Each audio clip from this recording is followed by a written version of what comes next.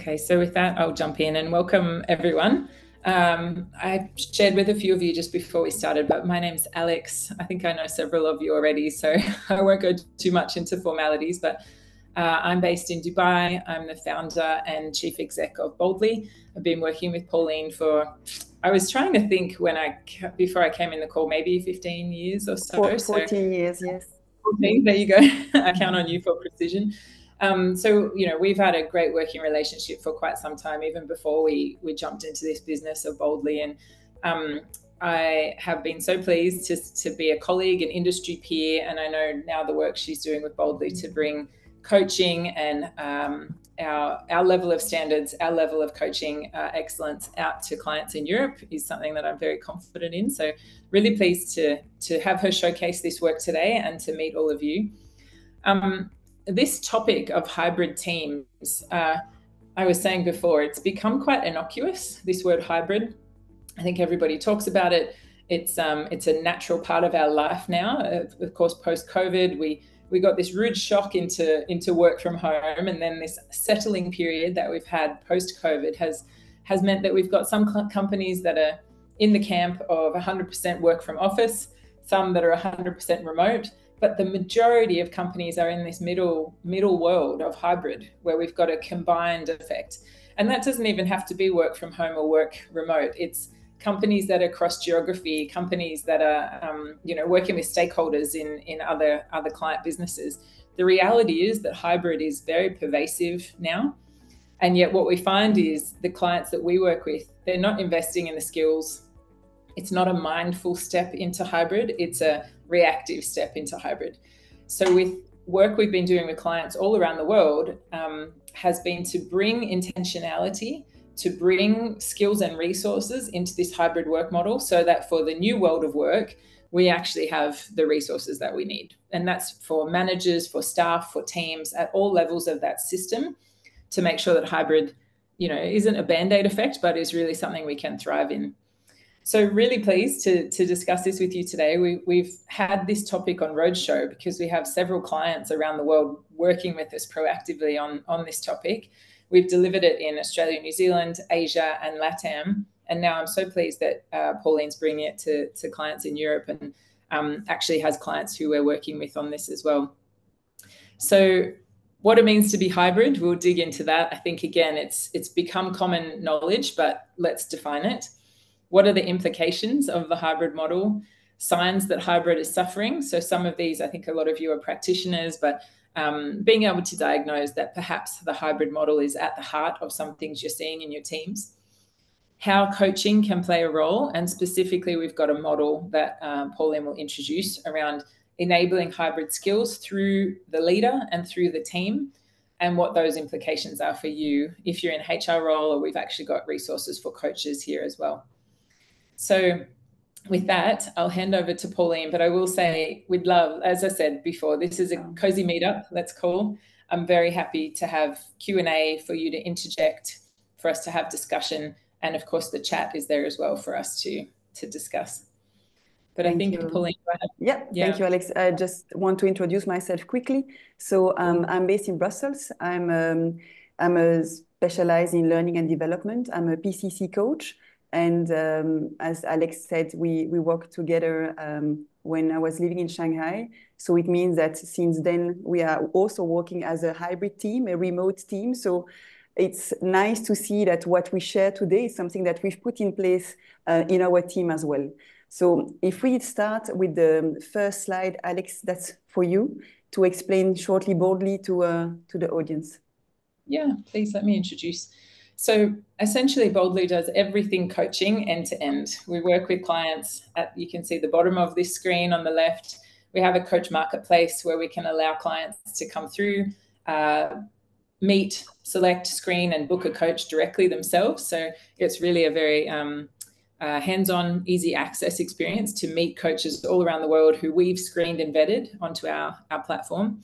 But from that platform, we then offer additional coaching services. So in that midsection, the number two, we have coach led learning, very much uh, facilitated small groups, question asking, discussion style. But we have aligned those learning programs around key talent. So first-time managers, leaders, high potential females, etc. And then at the top end of that jigsaw, we have our coaching culture advisory. So based on the coaching work that we can do globally and the learning programs, we're able to work with clients on how to knit in coaching as a strategic uh, enabler of transformation and learning and uh, your internal culture. Uh, and to really make sure that if you have a small army of coaches within your business, that they're working effectively, they're aligned to a model, they're aligned to your business strategy, and that we can have some some measures and some return on investment across those coaches. Mm-hmm. So yeah, really pleased to introduce the business. Thanks, Pauline. So um, we we found a research, which is actually a, a recent one, you know, from Forbes in uh, 20 May 2024. So it's a, a very um, hot one. We found that nearly 75% of the respondents say that their employees haven't trained managers to lead a distributed team, establish team or team norms, or adopted best practices to support working across distance. Considering that nearly 60% of employees now have the option to work remotely, it's concerning that employers and managers either still don't know how to manage hybrid teams or they are being reluctant. So what's the deal here? So it's, it's interesting to understand that since five years or four years, you know, with the change from, from before and after COVID, everything that the managers have done um, you know, they were like in a funnel during the pandemic. They had to work, continue to produce, continue to be productive with their, with their team.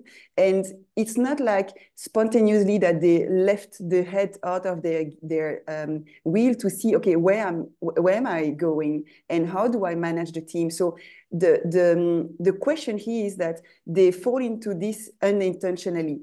So they, they were not um, on the on the driver's seat to decide, okay, now let's shift from non-hybrid and at, at the office model to a hybrid model. And that's the difficulty that most of the managers have today is that many tools are existing, you know, the now Teams, Zoom, um, well, you name it, Google Meet, and so on are there. So we have many tools to support hybrid teams. But what about the managers? What about their soft skills? What about their people management skills to support them in this shift from before to um, after? Um, and this new operating model is now the new norm. That's the new normal. So the purpose today is to give you some takeaways so that in your practice as coach, as um, consultant, as a HR manager, or as a service provider in HR, you can, okay, advise your client, your internal client, and also your direct client with some, okay, how do, how do we bring that um, to the light to, so that everyone becomes more conscious about the situation? Um, so hybrid means many things. So I don't know, um, Christine, if you have, what would be your definition of hybrid? Yeah basically to be able to work uh, from home um, let's say two or three days per week okay yeah. and what's your definition Siru of a hybrid thank you Christine yeah, I think it's it's uh, interesting. The younger generation, they the first question they have for headhunters is, "Can I work from home? If not, mm -hmm. then I'm not interested in the job." So I think that's could be that I'm, I'm I'm completely working from home. But then again, I might come to the offices if there's some team development or some team activities yes. going on. Yeah. Interesting. Yeah, there are different definitions of hybrid. We can see this as flexible work arrangements. You know, there is no specific time. We used to work nine to five or nine to six, but now you can start very early in the morning, go for, you know, a walk outside, get back to your to your desk and work later at night. It's very different than before. Um, it's also a mix from office and remote work as well. Um, now the place is also no, not more, no more constrained as we used to have before because you can work. I have friends over the summer, they spend a, um, a week uh, in Portugal for work, but they were out of the office, but um, a workstation, as they said. So it's interesting because, because it's also hybrid. Yeah, workation, thank you. Um, so it's also a mix between human interactions and communications, alternating between online, face-to-face, and a combination of both for team meetings. So there is a real blend here. And it's not always easy with these blurred um, borders to see, okay, it's very dynamic, okay, it's very emergent, it's very unpredictable. And that's the I feel like from my client, that's the major challenge that they have, is that it's very much interconnected, very much complex, um, and it's hard to define uh, um, always a red a red line to to follow the path because that will be always changing. That's now the, the day to day is very different from one day to the other. Another way to explain hybrid is I'm sorry, just go back here. Um, as I said, you can work from home, um, you can work from um, the office, you can work from anywhere, you can work from, from a hub or remote. So now there is a diversity in the place where you can work. Uh, you know, you also have the nomad. I mean, everything is now possible. So the, the main thing is that before you we had, as you can see, the red dot, we were constrained at the office from nine to five, and we, I believe, all started our career with that, right? Knowing that we will go in the office in the morning, leaving uh, later on and whatever the, the dishwasher to empty out or the, the nice walk with friends for um, to chat, that was not possible. Now it's very much more com I mean, flexible, that's for sure, because we can work from anywhere, from any time um, in the office. So that's a real blend between constraint and unconstrained. And the challenge as well for the companies is that today, as you said, Ciro, you know, the, the more junior people, they say, okay, do I need to work every day in the office? And if it's a yes, they might not consider the job. So that's now their new norm. Why we are with our generation, we see that differently as well, right? So how can we support this complexity more intentionally? Okay, the idea is to, to remove ambiguity and to remove complication, to remove confusion so that you can be more Uh, have a, a, clear communication and explicit communication as well. Alex, I don't know if you would like to add anything at this stage. Yeah, just to comment that, I mean, we have a lot of clients who say mandate back to the office. Okay, there's a there's companies who are just culturally they say unless I can see you, I'm not confident that you're working. And we're going to talk a bit about trust down the track. So there's still a lot of companies in that that category. I would argue they are still working hybrid. Even if their employees are back in the office, they have office to office. So someone is always going to be online in an online relationship. And they have their vendors, partners who are in all manner of work situations. If your vendor is out walking his dog when he takes the call from you, is he still working? Well, yes, he is. So you still need, as a manager and as a vendor relationship manager, you still need to have the skills to work in a in a hybrid system even if your company itself is in a mandated work from office. so this skill is pervasive no matter whereabouts your client falls on or your company falls on that this this four four matrix here. Mm-hmm. Thanks, Pauline. Yeah.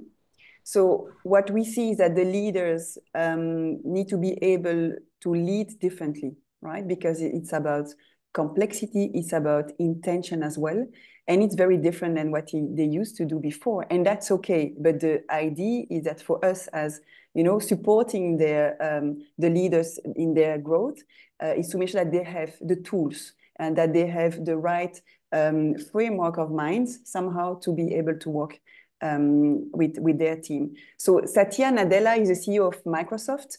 Um, they made a very large study around uh, 2022. And what he said is that everything becomes more complex, not less complex in hybrid work, right? So complexity is one of the key words here. Um, intention as well is a key word as well. Removing ambiguity is also one of the key words here to remember in this um, presentation. So we, we've made our research as well. Um, they are still emerging. So it's hard to say that there is one trend in Europe. It's much easier to do in Asia and in Australia, New Zealand as well, because they, because of the of the size of the region, there there is more uh, a common uh, way of studying the, the region, which is not always the case in in Europe. Um, the numbers will will tell you something, but here what I want to tell you is that working from home is now a legal right across Europe, right? Um, it means that the even if the young generation, um, pardon, even if the the whatever the generation would like to work um, also um, from okay, I'm starting my sentence again. Uh, mm -hmm. so the the what we see is that the office first hybrid model is where organizations control when employees work remotely is the most common setup. It means that the companies, they decide on the setup, they decide on how many days they will work from home or from the office, but the entry point is that they work from the office right? It's not that they work from home. That's different. The, the, that was different during the pandemic. So what we see, and I have a client who said that to me recently. Um, she's based in Asia, and she said to me now, Pauline, it's a nightmare. She's a HR manager is a, in a very large company, a worldwide company, and she said it's a nightmare because now we are in a new policy. It's work from the office five days a week. And she said it's a nightmare to hire young generation, as you mentioned, Siru. And it means that from one hand, it's hard to recruit and to attract talent, but on the other hand, internally, they also need to re-recruit their employees, right? They need to have a campaign internally to, okay, what's in it for me to be back in the office again? Um, we've seen that Amazon has done that in the US, um, Google as well. So there is really a shift and it means that, again, the, the, the word complexity takes, again, a, a very important um, role here knowing that the workforce is very demanding, um, even for the people from our generation, we experienced the uh, difference between working from home and working from the office, and we like most of the time like the flexibility of being able to arrange our our work schedule. So, yeah, can, I? Can I Please. Yeah, I don't know. Suddenly we all want to to ask questions. I don't know. Can I interrupt now, or shall we? Uh, please, yeah, please go ahead. Later. Yeah. Yes.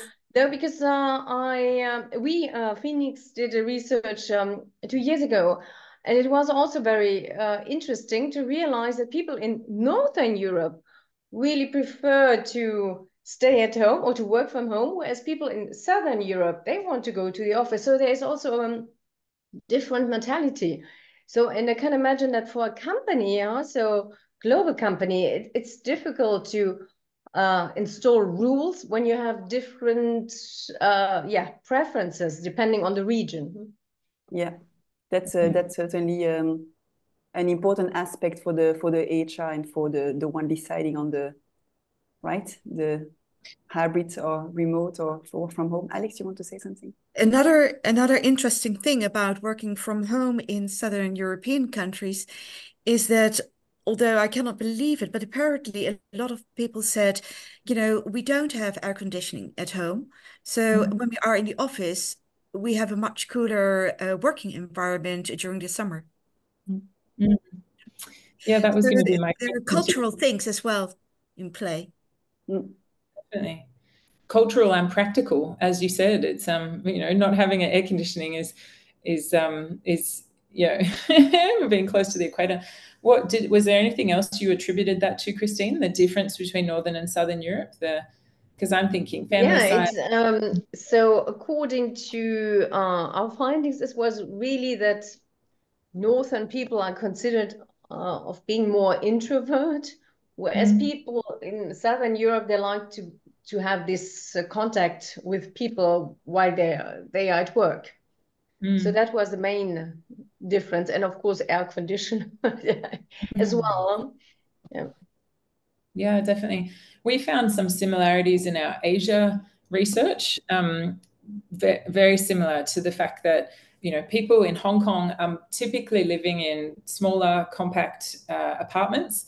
Don't necessarily have the space to set up a home office or even a desk next to the bed to, you know, to be able to create a work from home environment. And even if you do set up a desk next to the bed, you lose the transitional space. You know, the a lot of people are used to the commute as the gear up into work and then the gear down back to home life. And so if all you're doing is rolling out of bed to the seat next to you, you've lost the transitional space of switching codes, right, between home life and, and work life.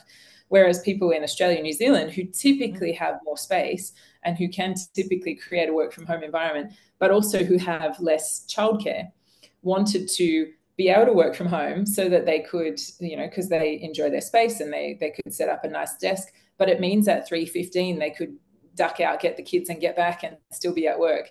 Whereas in Hong Kong, where people traditionally have more domestic help, they're not having to make the consolidation for school drop off pickups. So I think there is like the reality is mm. in hybrid, yeah. your house, your family, it's your, yeah. Which makes me curious do you have an idea about Japan? so uh, did you uh, speak with people in Japan? Definitely, yeah. yeah. Because mm-hmm. the um, because the work participation of females who are um, parents in Japan is still so low. There was really typically a conflict in the home space of how does one parent work and one parent take care of the children. so a lot of you know sort of outdoor time, but there wasn't necessarily the conflict of um, I'm a parent and I need to go back to the workforce as well. There's still much more traditional roles. So split it uh, was the confines of the space, but not the confines of the the conflict of the family responsibility, mm. if that makes sense. Yeah. I think Sylvie, you also had a question or something. yeah, I was wondering, Pauline, when you gave the example of the company who took the decision to oblige people to come back to work. Yes. I mean, it's it's a lot of implications and it's against the tendency of the moment. Do you know what they're thinking, what their reasoning is behind that? Why they chose for that? I, I have little knowledge on the reasons. I think it's control. Mm. the, the we, will see that later. It's yeah. indeed when you don't see people, you don't think that they are productive, right? So, yeah. and we will see that later as well. It's also a question of trust. Um, mm. So, you know, the thing is that most of the time the companies are reducing their office space as well. So, I'm wondering how they will manage also on the long run. Uh, because many um, offices have changed in since four years. Um, yeah. So for the moment, I don't have an answer. Um, I, I, didn't ask on the on the strategic, uh, you know, decision of. Yeah, yeah. yeah. I was just having, curious. No, but it's a good question of having people again back in the office. Uh, but I was mostly like, okay, that's a very big challenge for HR. You know, mm. to recruit people that are okay to come five days in the office. And you remember four years ago, five years ago, that was the norm. yeah. So we we shifted very quickly. Um, I mean, four years, but we shifted now the the mindsets very differently. Mm. Alex, anything to add so far? Yeah, I don't know about that one client that Pauline spoke to, but across the board, we're seeing a multitude of factors that, um, in some cases, it is leadership personality style. If that leader has made an assumption that unless I see you working, you're not working, then that can permeate through the policy and the discussion. In some cases, it is more uh, macroeconomic in terms of governments creating incentives because they want their central business district to come back alive, or property property players giving uh, discounts to get people back into the office. So there can be economic drivers, especially coming off the back of COVID, where so many companies, you know, took a hit and now they're having to make up for that within their 10 year plan. So um, again, it is that control element I would say is is lying underneath it.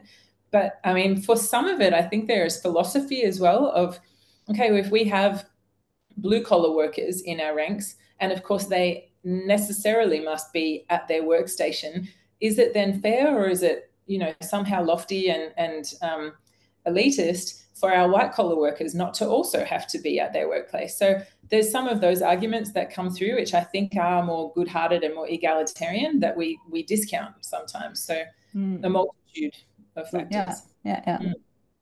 Okay, so let's move on and look at the, the implications of the of the hybrid model.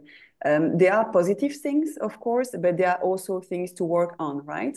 Um, again, this survey from Microsoft, so they did a very large survey. You can see uh, 68,000 employees operating this hybrid context. What they found is that it's very dense within the team. So within each team, the relationship is is um, is uh, stronger, but then it's per team. So it's everything is on now on a silo, which is actually means that there is less connection between all the different teams, and that becomes a problem. You will we will see that later on as well. So more more in a silo, it means that the network is more static. People don't see each other at the coffee machine or at the cafeteria. Um, they don't chat, um, you know, on on a nice chat as you can have in in the corridor. They don't do that anymore. So it means that they will write an email instead of picking up their phone also because people are hiding behind their screen sometimes, which is much easier because they might not have meet this, this new colleague from another department. Um, so it's more vertical collaboration. Um, the, the communication tools are much less rich and it decreases also a transfer of knowledge and quality of output. And what we have seen is also decreases the innovation somehow because people are less, you know, working together and um, brainstorming together just because they don't see each other. Um, if they see each other, they need to have a specific meeting, set up something. So it's more formal now than it was informal in the past. Um, there is another aspect that uh, we have seen is that um, a manager is actually a manager of the work and of the person, right? You need to make sure that your team is productive, is effective, and realizing the, out, the outcomes that are needed to, to perform the job. And on the other hand, you are a people manager. So you are supporting your, your, your team members in their development. So you need, one, on one hand, more data reasoning. And on the other hand, you also need more empathy, right? More human connection with people. What we have seen is that in the hybrid model, having all these behind the screen um, meetings uh, it's very hard to combine the empathy and the data reasoning at the same time. Um, and that's very interesting to see is that, of course, it can reduce the motivation. It, it can reduce also the results as such um, because the, the, the, connection is less uh, present as, um, as uh, it should be normally um, in the people management face-to-face. -face. Another aspect, um, let's move on on this slide because there is another aspect that I would like uh, to explain is that um, the hybrid model has put a lot of pressure on the on the organizations, right? And as I said, um, one of the costs is that there is less innovation. So what we need today is to support the team and make sure that inside the team, the foundation is very, you know, very solid. And to have a solid foundation, we need trust. And what is the trust? There is an equation, very simple one, but very useful one. When you understand that, you will use that a lot, I can tell you. So the trust is uh, the combination of credibility. So the credibility will be the attitude, the knowledge, the competence. You know, that's, that's the track record that you have as a, as a, as a manager. The, rel the reliability is the walk the talk, okay? You, you do it, you say that you, you will do something, you do it as well. The intimacy is uh, the, the emotional connection that you have with someone. So we in French, we, in French, we, we use vulnerability, okay, vulnerability, which is actually a way to connect as a human being. We more and more um, speak about being authentic as a leader. This is where the intimacy can uh, come into play. So if you have a good balance between credibility, reliability, intimacy, and this is actually an equation because under that you have self-orientation. We can call it ego as well. So that's being putting the focus on yourself or on the others. If it's not on balance, in if it's unbalanced, then there is no trust. So what we see in the teams today is that there is a very good level of credibility, a good level of reliability, but there is a lack in terms of intimacy. One of the reasons is because people mm -hmm. don't see each other a lot. Okay, again, the coffee machine has a real a crucial role in a company. Going for lunch with your with your colleagues has also a role as well. Networking internally or externally is also very important. So what I mean here is that by the moment in a team where the foundation is strong, then you can move further on innovation. You can bring results. You can have more, you know, more um, accountability, more team empowerment. But first of all, you need to have this level of trust that is very important uh, in a team. So that's a real challenge for the for the managers today. Um, and I think that's very interesting to know the, this equation because it helps also to know where to develop uh, the team um, and each team member as well. There are exercises for that, of course. Pauline, kind of building on this, I'm also wondering that you know, we talk about how do we develop and foster highly performing teams, and if the, you know, the sense of belonging and the uh, psychological safety, if they are elements. So I think it's very challenging. At least leaders said it's very challenging for me to build these aspects in my team. How do I build sense of belonging when we never see one another. That's mm. that's that's a real challenge indeed. Mm. And and um, what I believe is that the um, uh, trust can help um, working together because um, it's it's another way of, of of discussing. For instance, what we do, and we are uh, at Boldly, we are a hybrid team, a remote team somehow because my colleague Alex is based in in the Middle East. I have a colleague based in Hong Kong, another one based in Australia, and so on. So we always start, you know, the town hall meetings with a nice chat, you know, it's some games as well, just so that okay, we learn about each other. Uh, they are colleagues I never met, but that's okay. I feel connected to them because I know what was their favorite song when they were a child. I know what was their first job. I know their favorite color. And okay, it sounds a little bit um, kind of, you know, simple, but it's also important to build this, this trust within the team, um, even though we never met uh, in real. I don't know if you want to add something or anything, Alex, uh, as well. Yeah, I, I put all of those things too under the bucket. Trust definitely, but I put them in the bucket of rituals as well. Yeah teams who have rituals can build psychological safety, can build yes. belonging because, you know, if you know this is the thing that we all share, then that can happen virtually yeah. as well as in hybrid. Some people in the room, some people online. So rituals, I would say, is essential. Another element that Pauline brings into her training program with managers on this topic is disclosure, effective disclosure. Yeah. Teams who have the, the trust level to make disclosure to each other of the vulnerabilities, but creating space for disclosure, you know, not over disclosing. But, you mm. know, if my kid walks in the room and I tell you that he has a sore throat, you know, small disclosures that bring my life into our relationship, that I believe builds builds that connectivity. Um, one thing that we talk about a lot with the leader in particular, because the leader is that node of the culture to the team, that the leader has to have a lot of intentionality um, if the leader can bring awareness to how communication happens, the rituals that they're bringing into play, if that intentionality is very strong, then that creates the foundation of trust and, and belonging and etc. But a lot of work we do with leaders and coaching in this space is bringing it to a very purposeful space of, of what are you doing to open those doors? Tell me the facts. mm. So yeah, I would say the, the, the thing, as you know, Siru, in your work, it's um a lot of the things that we say, they were the, the old best practices, are still the new best practices in this hybrid world. It's just that they're so much more acute now because we have the remote relation, the, the invisibility. If somebody's suffering at their desk for four days and I don't talk to them to the fifth day, I don't know. And so that invisibility is what's made some of these critical management 101 skills so much more important to, to get right. And, and indeed, again, for this psychological safety, um, as long as you can have this open communication, it helps. It helps a lot, and that's one of the tool of the of the manager, right? In this hybrid world, is to make things more explicit. You know, explain and make it more open book.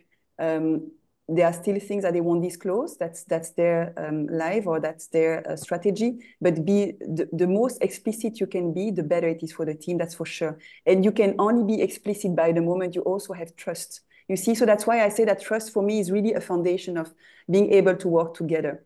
And as Alex said, this is was the same five years ago. It's still the same today, but it's just that the perspective we have on this on this trust on on this tool um, takes another color, in fact. Um, and mm-hmm. that's that's basically um, one of the message. So, Alex, I hand over to you to explain um, the signs that hybrid teams um, are, are, mm-hmm. suffering. Yeah, let me just mention this briefly because I think everyone here is, is savvy to this, and, and Pauline's got a great model to start walking us through some very practical tips. Um, so if I just move on to the next slide, Pauline there's there's a lot of things here that I think you will all say, okay, well, it's very hard to say that that's causality, not a correlation. We know in the HR world, it's it's messy to demonstrate a really linear, linear line between, you know, the cause and the effect. But the things you would expect, if you're seeing issues with productivity engagement, communication is a big indication of, you know, we've created more barriers now to overcome. So if this was already a problem, it's accentuated Um, feelings of isolation, we definitely hear about disconnection. We know that loneliness is a big global pandemic, and, and it's one that we have to be conscious of in our own businesses too. So the rise of loneliness, not 100% related to hybrid, but definitely is a compounding factor. Blurred work-line boundaries, as I said, that that that 25 year old in Hong Kong who's rolling out of bed and they have one foot before they're at their work desk it's very hard to create the boundaries then for them to compartmentalize what is their identity related to their work versus related to their home. And then the lack of career development opportunities. If i'm not being seen if i'm not at the water cooler as pauline said if i'm not in front of stakeholders who are making decisions how does my career actually work now? Can i be visible raise my profile and influence people in this this more complex environment so all of those things, I think, as as I mentioned, they can be related to hybrid, they can be related to work culture. We've written a, a resource here that we can share after the after the call. It's very much created as a hiring manager primer. So for those of you who are practitioners, this won't be the in-depth tool. But if you're trying to open up a conversation to say, hey, Mr. Mrs. Hiring Manager, some of these things that you're seeing in your team may be related to the fact that you now have a more complex work environment here's a resource to read, just to bring it onto their agenda so that you can open up a coaching conversation and open up some some awareness. So that resource is there. Thanks, Pauline. I'll pass back to you. So um, coaching is definitely um, a very a very unique proposition, right? It can be deployed very easily uh, at different levels, at the individual level, at the team level, at the organization level as well. So that's something we believe um, is a great tool to bring into practice into the company for the leaders to become also to develop their coaching uh, skills, but also to get coaching support um, as they need to, you know, manage this um, complexity, which is for some of them quite new, um, even if they were not people manager before, but just uh, get promoted people manager, it's still new also to learn on how to manage a, a hybrid team. Um, so it can be very much tailor-made to, uh, to the people um, that are needing it. So as, as you follow me since the very beginning of this webinar, you know, it's the, the shift from surviving to thriving in a hybrid workplace, it's really a key is intentionality. That's, that's the entry point and that's the, say, the new operating model for the leaders, right? To be more intentional, to be more conscious um, about, um, about that. So as I said, um, I'm sorry, I'm going too fast. Oops. So we need. sorry, can I ask something? Sure, please. Uh, is, uh, would that apply to all teams? Because when we speak about hybrid, you can have the 100% hybrid teams, but you can also have those yeah. who meet from time to time, but are still very much working hybrid. Of course. So would, yeah, so, so it's the same for both. Any type, any type of uh, hybrid team. Um, we sometimes have clients that are uh, having a team meeting with a part of their team in the meeting room, a part of their team behind the screen. So, I mean, all the different uh, possible scenario um, um, really, you know, can be can be uh, not solved, but can be supported with uh, with this uh, with coaching and, and these other tools. Um, Alex, would you like to explain this slide?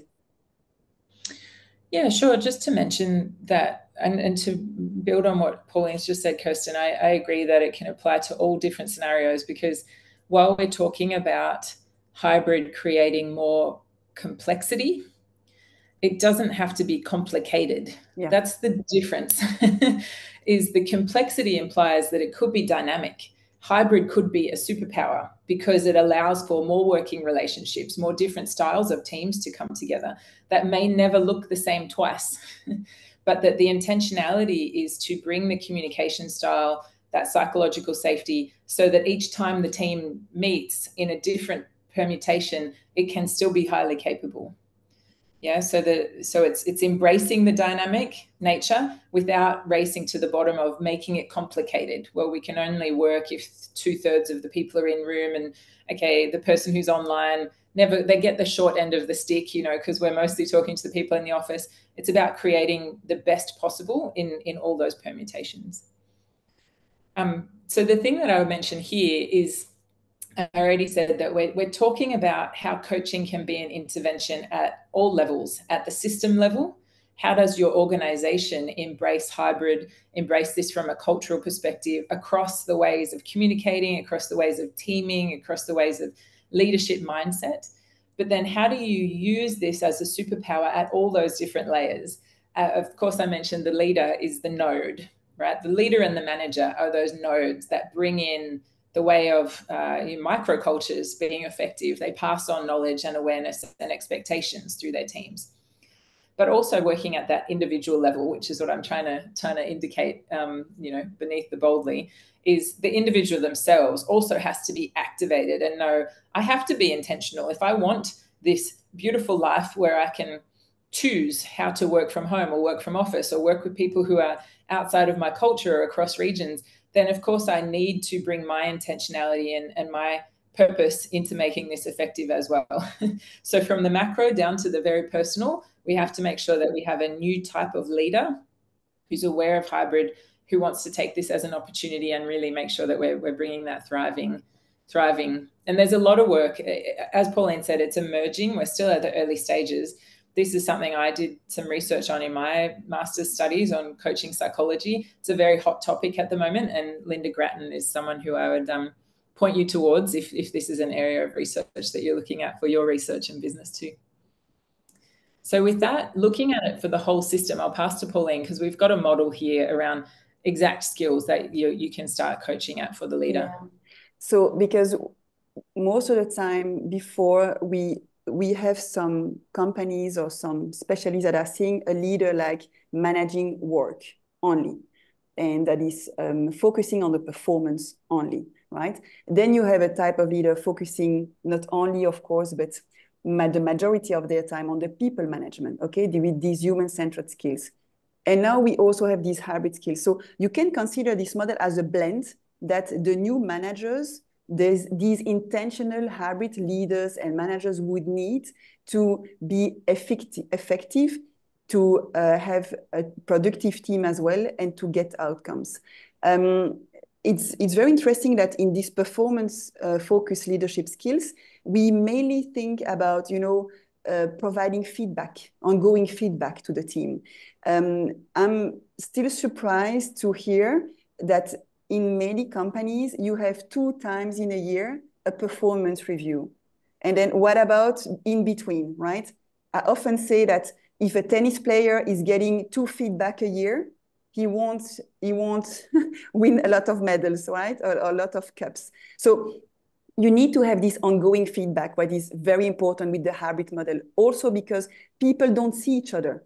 Okay. So by the moment you catch up, okay, you have this night chat, to, so that you build also intimacy with your team member.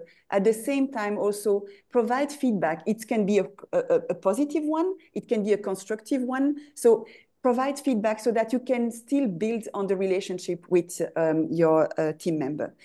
Um, and that will also remove the ambiguity. Why is that? Because when you will provide feedback, when you will discuss with your team member, you will be more explicit. You will communicate more openly. And that is also needed in the hybrid uh, skills. The human-centered skills are those that are, we speak about communication, we speak about coaching, we speak about showing empathy. These are three of the main uh, aspects of the human-centered skills needed for uh, intentional hybrid leader as well.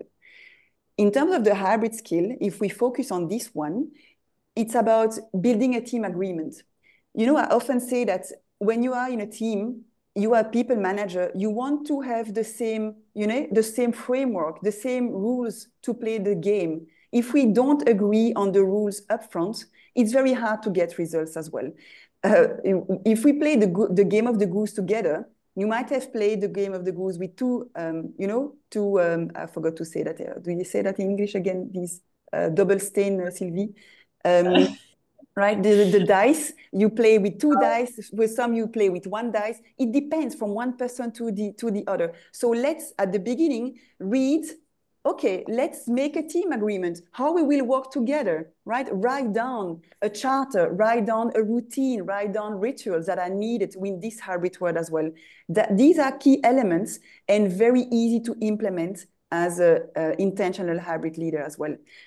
So if we see on the slide, it's certainly a blend between the performance-focused leadership skills. They, they are needed as well, right? We, I don't say that we need to remove them, but make them explicit. The human-centered skills is a way to develop, okay, let's build more empathy with it, as a leader. Let's, let's be more explicit, be more open when you communicate. Um, let's develop also coaching skills for, for my team because I know they have the potential. So let's make them also bloom and thriving in, in the team. And this hybrid skill will be the, the, the cement between all of these, um, really about this uh, team agreement, uh, also about how do we navigate between time and place. Remember the, the, the, the, the um, uh, schema, I'm sorry, today I'm lost in my English. Um, with time and place, constraint and constraints. So let's be clear. Okay, we, we will work two days or three days uh, in the office. Okay, do we have common days or not? At what time do we come? Okay, what is expected for the whole team, but make it clear for the whole team members. I think that's also um, a key element to, um, to mention. And as a manager, we also have our own biases, right? Um, it's not always easy in a new um, this new world with more technology. Some people are not tech savvy, for instance.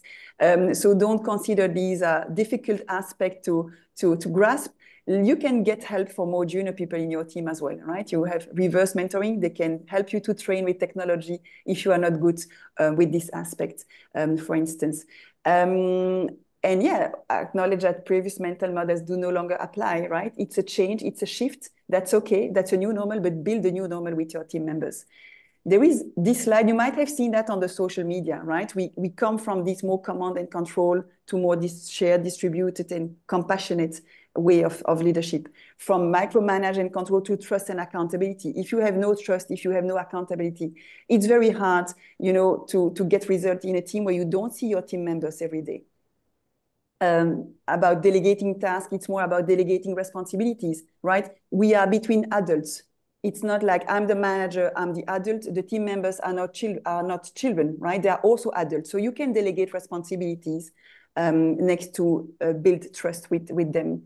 Um, now, before that was a manager deciding on when, where, and how the work is done. Now it's more like the employees. They will decide on when, when, and how the work is done. So again, make sure that you have this team agreement upfront. That will help for sure um, in the in the in your in managing your your team members. And that's one of the one I like a lot. If we were more implicit, we were we saw each other a lot. So sometimes you, we, we were not communicating because that was okay because we were working together, but it's no more possible. We need to be more and more explicit um, so that uh, everything is clear and um, remove ambiguity as well. It's a better level of alignment for sure in the, in the team. Uh, Pauline, yes. I just have a question. I don't know if you will um, discuss it later, but because you said um, that uh, managers now need to be more empathetic empath, empathic yeah anyway. And uh, so i was wondering regarding harassment because i can imagine that it's less obvious huh? and maybe there is less harassment because people can work from home so then but there must still be uh, harassment. And i was wondering if uh, you have uh, also analyzed or assessed um, how whether there is less and how people deal with uh, harassment nowadays.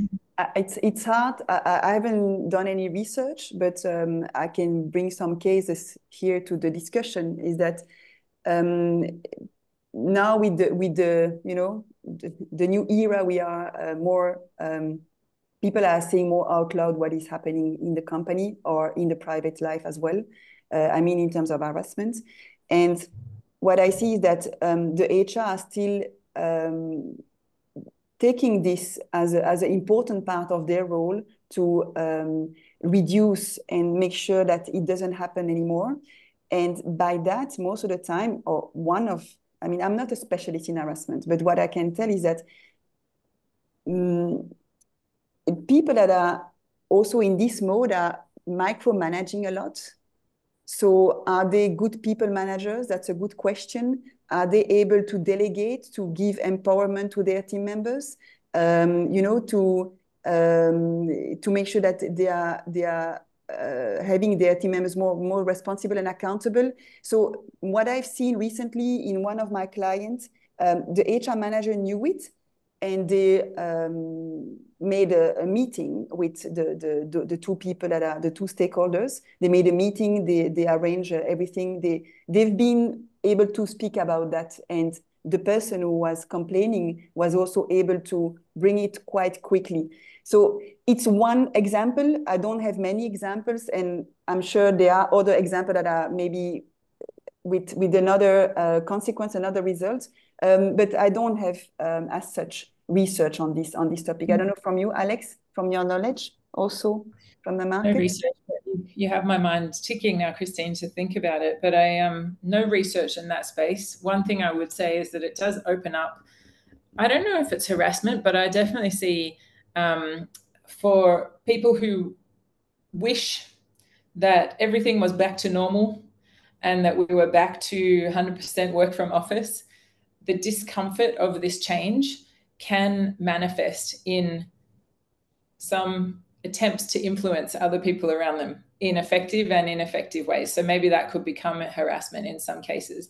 I do hear younger staff who feel like, okay, even though the law says this, and even though my boss says that, the big boss is sending a very strong signal that you know work from home you're not going to get promoted or you you know you won't necessarily you know thrive here so in my sense in my mind I don't have any research, but I think it can open up this new form of harassment.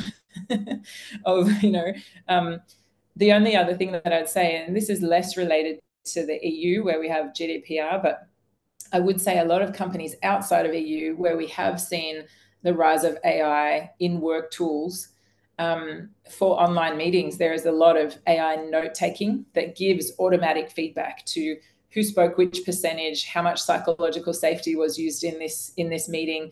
So there would be scenarios where either, no problem, Kirsten, thank you for joining. Um, if you need to go now, the um, if if there was harassment coming up in this new online world of work where this AI is coming, it would be flagged, and so I think that that will either divert some people to not use the tools if they think they have a natural harassing style, or it might catch and give feedback to some of those. So complex and, and interesting question, but I think those are the things on our horizon mm-hmm. with relations.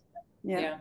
I I do know. I, I spoke to a um, candidate uh, mm. coming from a huge uh, consultancy, and he said that uh, some of the partners really gave almost a public beating online. So mm. where all partners were involved, and then the next line of of regional managers, etc. And then they could really pick on just one person. And he said, and this the terrible thing was that you were sitting there, part of it, feeling terrible for that person. But he said, at the end of the day, no one dared to speak up. It was only afterwards when they were outside of the meeting. So yes, if the, if there is a kind of culture anyway, you know, top bottom, uh, not delegating or being the way you you you speak to your personnel or the, the people reporting into you is that way, then it's very easy to embarrass people even more um, with just a Teams or online meeting. Yeah, it's a good point. And some of that, as you say, it's at the cultural level. It would have happened offline. Now it's happening online. I think the the big difference is so many of our calls are now recorded. so I have had clients who've had complaints of, of misconduct come to them, and then they're actually able to go back and view the recordings. And now, from a legal and technical perspective, say, oh no, no, no, no, you have a misunderstanding of what bullying is there.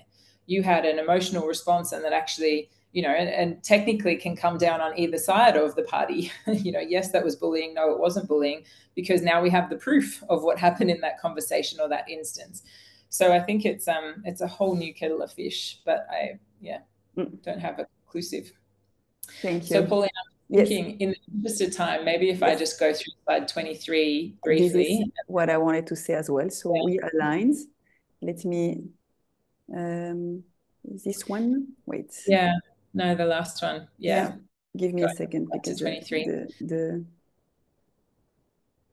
So one thing I would say, um, is we've got a lot of resources that we will share after this call, just in the interest. Wait, I'm sorry of, because of uh, I think my system is not uh, working as it best. This one.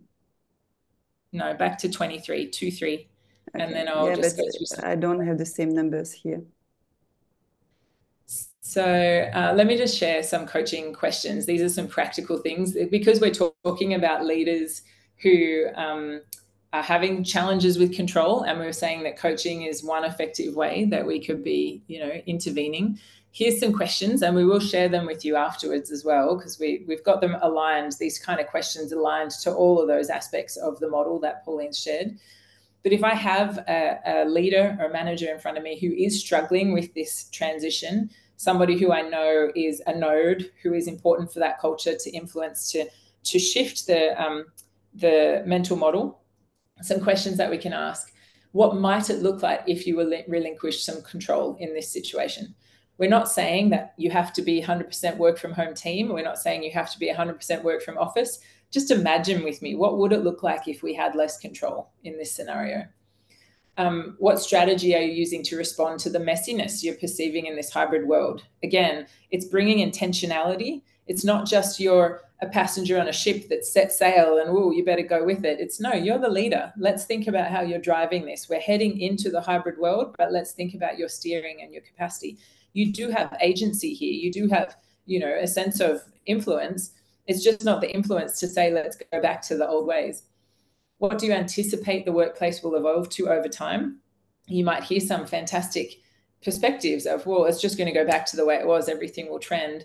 Or you might hear some futuristic you know everybody's going to have a chip in their ear and i'll be you know working with bots. So getting a sense of like what is this person responding to? Why are they having maybe an anxiety response or a defense response to the hybrid workplace? And then what does your personal how does your personal history impact your expectations of the workplace now as pauline said at the beginning most of us probably started you know she said nine to five i was thinking that sounds great i was like my first job was eight to six and if i wasn't at my desk if I was 10 minutes late, I was late. You know, there was no working back. So we probably all came from a much stricter, much more performative version of a workplace. And now this what feels loose, what feels messy, what feels mature and grown up could be very scary for people who didn't quite handle the dynamics of management before. And now it's even harder. so, this understanding their personal history of, yeah, if you grew up wearing black shoes, black trousers, a tie, and you had to wear your jacket because otherwise you weren't in uniform. That's a very restricted form of work that somehow we're now asking the new mental model to move into. So, understanding and, and having empathy for that person who's gone through change and who's now leading an organization and might be wishing that they were back to what they understood is a beginning point to helping the whole system, um, you know, get to where it might otherwise be and, and thrive.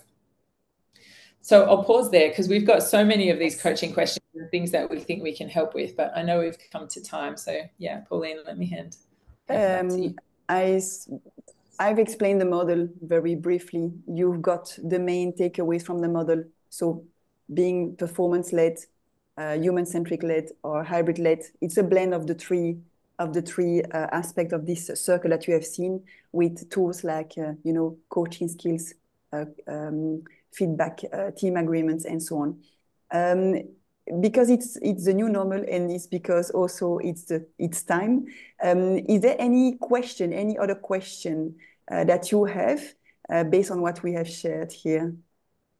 Yes, I'm I'm just curious, but indeed, this also probably research based, and probably you don't have real real answers on this. But so we're looking for an intentional leader, you know, the new leaders is there a research men versus women where we could say women are automatically more inclined to be an intentional leader than men or is that not true at all well, the first thing I'd say is I'll call out that we're all women on this call, so it'll be very easy for us to draw a conclusion. It's a pity because I would have loved to see men exactly. on this call as well. Yeah, Agree. Agree. to understand their view. Yeah. I have an instinct, but it's of course not universal. I, I think we we do have to give credit to the nuance. Um, my in the interest of time, my very boiled down statement is that um, in general, females are more empathic leaders. So I would say yes in that sense. In general, women have had roles where they've had to balance more and find more solutions for work and life, which means that they're probably operating in a more dynamic sense of a leadership um, model themselves to create this new concept of of um, yeah creative ways of getting work done non-traditional ways of getting work done. So my sense is that there would be a lot there. However i know some fantastic of course we do know some fantastic um, male leaders who have what we call complexity of mind. Of course that ability to know that work is happening no matter where you're you know sitting um, and who can see that they want to get outcomes through systems not not just time punched on a stamp. So let's say all genders but i definitely think that there will there will be some tendencies and then same question but then with regard to culture you know do we know for instance that indeed in the nordics uh, we tend to look at Scandinavia specifically, where we mm. have the feeling, but we don't know. At least I don't have that research. You know that they are automatically.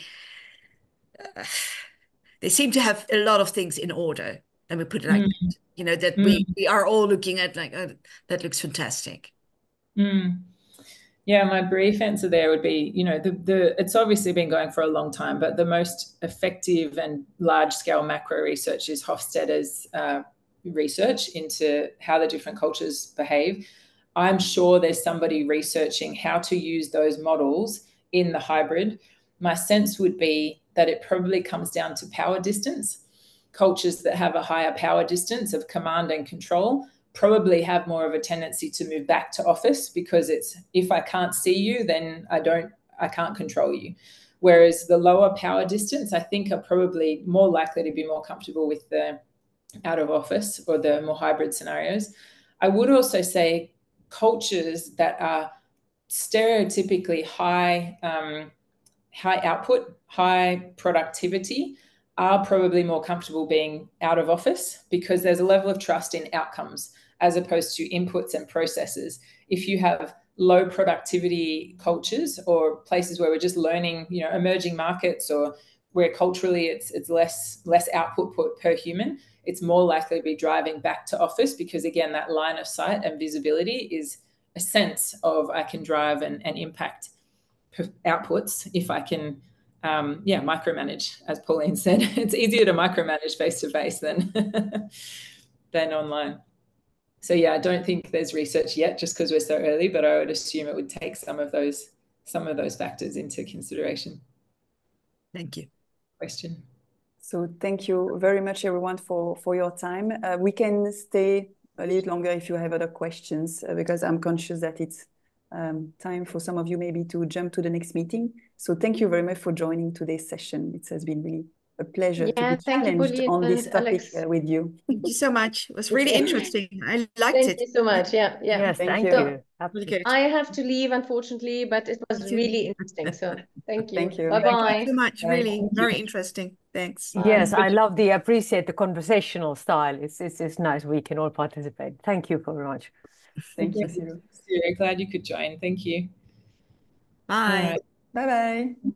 See you. Thanks, Vera.